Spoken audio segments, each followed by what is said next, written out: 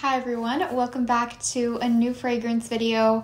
I haven't sat down to film a video for this channel in a while, but today I have sort of a mini haul for you guys. I'm to be reviewing two new perfumes that I'm very excited about. So I hope that you'll enjoy this video. Don't forget to subscribe down below if you have not already, and let's get into it. I want to first talk about the fragrance that was gifted to me by the house Veronique Gabai.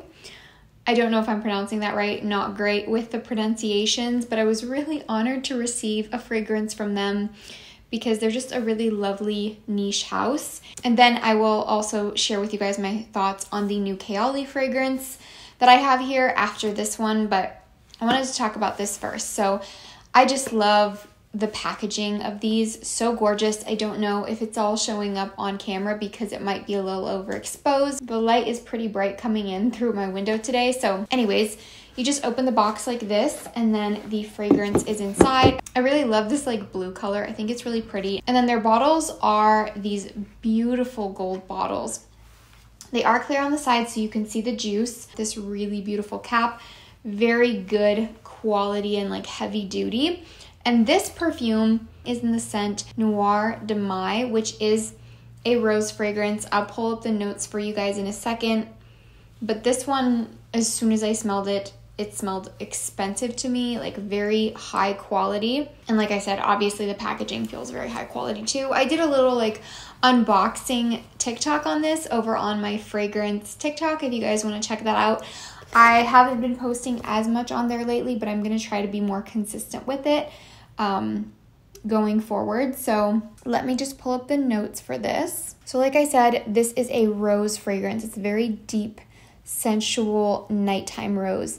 The notes on this are top notes of dewdrop, middle notes of rose de mai, and sea notes, and base notes of woody notes, amber, and oak moss. So I wasn't quite expecting the scent I got out of this because of that dewdrop and those sea notes. I thought it was gonna be a little bit fresher or maybe have a fresh element to it, but to my nose, this is a very deep nighttime scent. It definitely has that woody and amber quality to it. And I feel like you can kind of smell the oak moss too. It adds like a really, like I said, sensual element to this scent.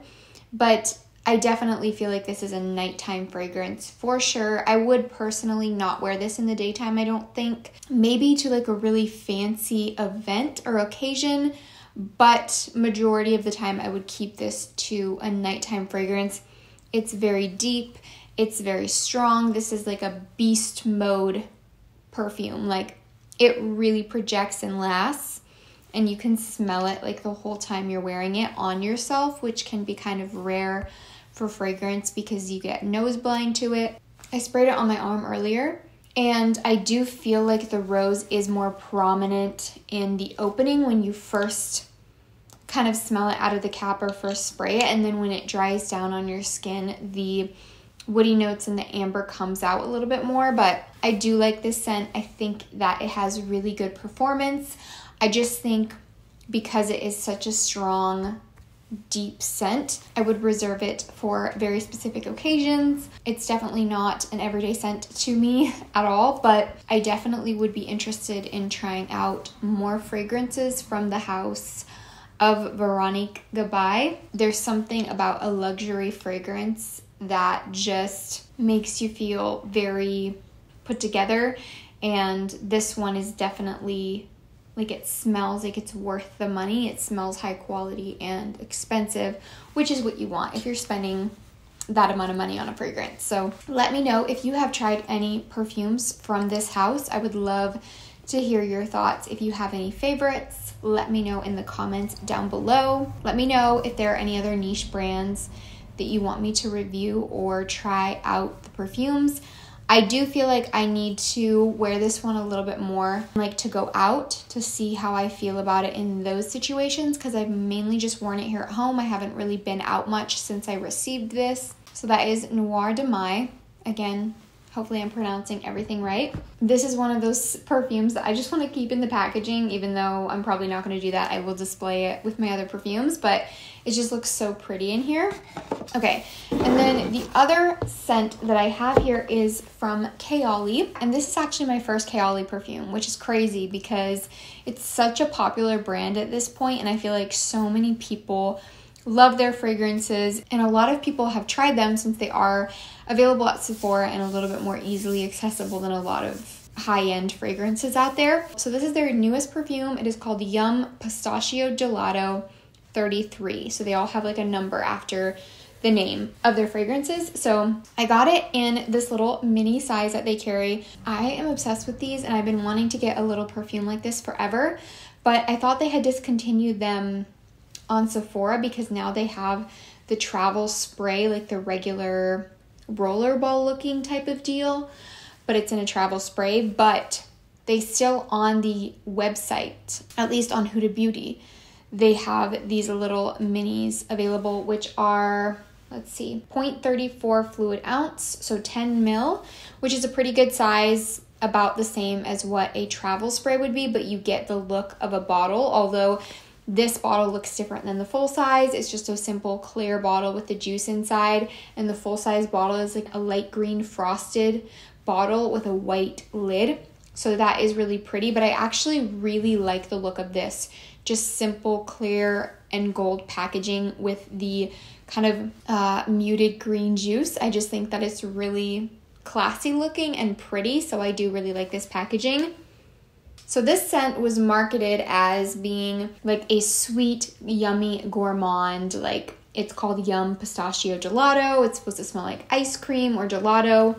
And I have noticed from reviews that a lot of people are a little bit disappointed because they feel like it doesn't smell like the marketing.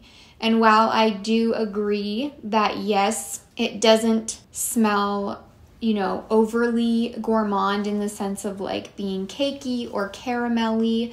Um, I would still consider this a gourmand, and honestly, I was kind of surprised by the reviews when I actually got my nose on this because I watched a few reviews and then I got this in the mail and smelled it, and it wasn't what I was expecting. I was really expecting more of a fresh, clean, kind of scent because that's what people were saying that this is. I don't know if it's just my nose or what, but I haven't really felt like I got too much of that. Like, yes, when you initially spray this, if you spray it just into the air, I do get a little bit of a freshness to it, like a clean kind of vibe.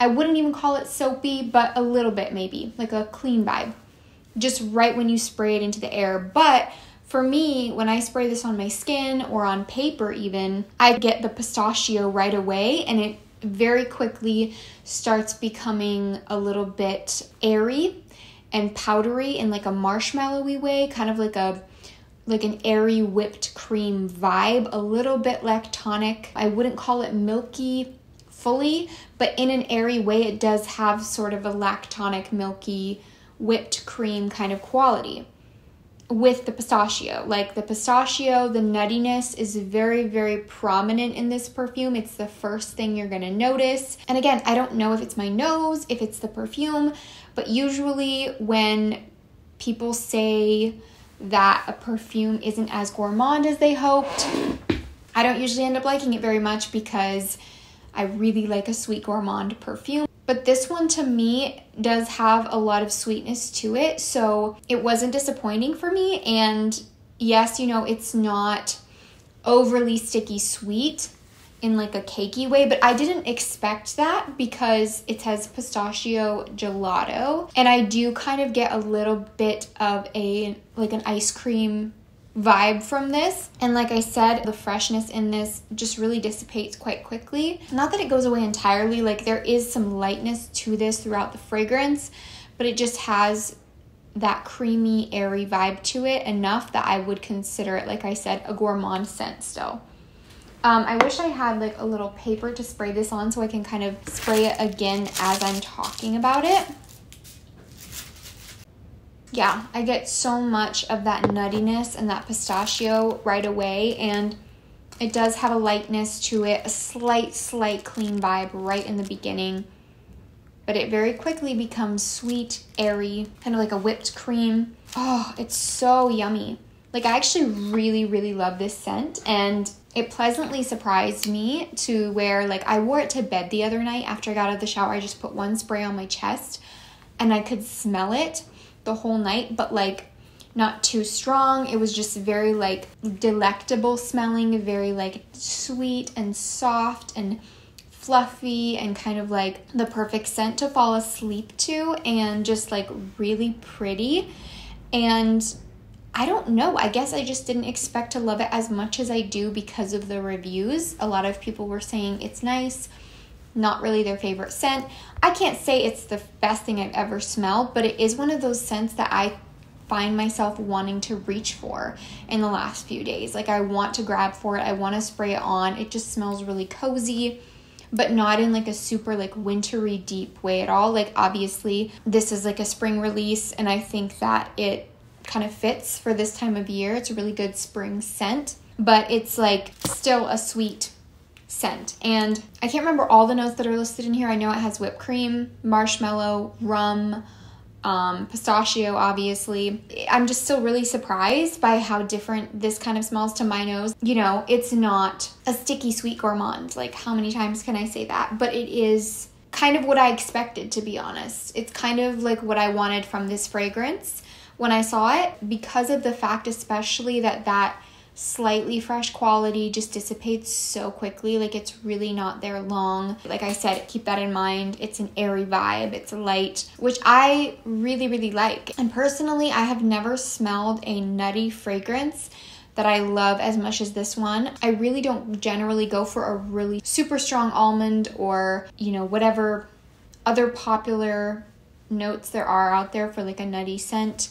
I do like it in the background, and I have perfumes that I like that have those sort of notes in the background, but none that are so prominent as this one that I ended up just really falling in love with. And so far, I have really been falling in love with this one. So, very happy to report that. Um, obviously, I you know, understand why a lot of people were disappointed. It's not like pistachio caramel, you know, it doesn't smell like candy, but it wasn't named baklava, you know, like I do think the marketing could have been done a little better, but I don't think it's totally on another realm or completely opposite of what they did with that. So, anyways, I could ramble about this perfume forever. I feel like I have a lot to say about it, obviously, but it's getting repetitive at this point. So, that is sort of my little review on Kayali Yum Pistachio Gelato. Very excited to have my first Kayali fragrance, and I really want to try more. I love the packaging, especially these little bottles.